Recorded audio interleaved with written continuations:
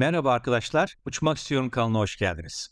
Bu video serisinde özellikle Havar Okulu öğrenci seçme uçuşlarına hazırlanan pilot adaylarına uçuşlarda yardımcı olacak bazı temel uçuş eğitim videoları paylaşacağım. Bu videoda ise emergency yaklaşma konusunu çok kısa olarak açıklamak istiyorum. Emergency yaklaşma, uçuşta acil durumların ortaya çıkması durumunda uçağın havalimanına iniş yaparken kullandığı bir prosedürdür. Acil durumlar, uçağın motorlarında bir arıza, hidrolik sistemlerinde veya diğer kritik sistemlerde bir sorun, yangın gibi birçok sebepten kaynaklanabilir. Bu prosedür sırasında hava aracının güvenli bir şekilde pistte durabilmesi için bazı önemli adımlar atılması gerekmektedir. Öncelikle uçakta bir acil durum olduğunda Pilotlar havalimanı hava trafik kontrollerine durumu bildirir ve acil iş yapacaklarını belirtirler. Hava trafik kontrolörleri uçağı yakın bir pist için yönlendirir ve diğer uçuşları uzaklaştırarak acil durum inişine izin verir.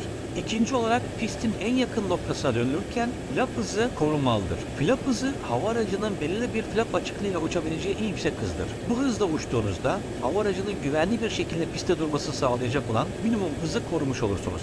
Pist garanti olduğu durumlarda flap kullanılarak yüksek kılınmalıdır. Bu hava aracının daha yavaş bir hızla ilerlemesini sağlar ve iniş sırasında daha az mesafe kat edilir. Ayrıca pist garanti olduğu durumlarda flap kullanmak hava aracının frenleme kapasitesini de arttırır. Acil durum inişi sırasında pilotlar normal iniş prosedüründen farklı olarak daha düşük bir hızda ve daha yüksek bir eğimle yaklaşırlar. Bu adımları takip etmek emergency yaklaşma sırasında hava aracının güvenli bir şekilde iş yapmasını sağlayacak. Hepinize iyi uçuşlar ve başarılar diliyorum.